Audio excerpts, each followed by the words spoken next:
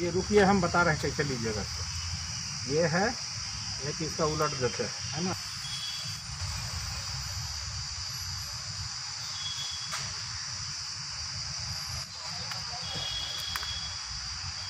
माने पीने वाला कि पिलाने वाला?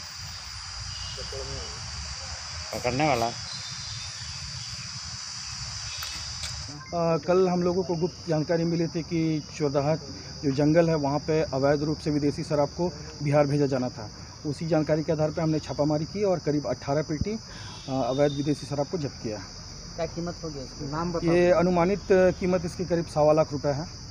कहाँ से कैसे जब्त किया गया?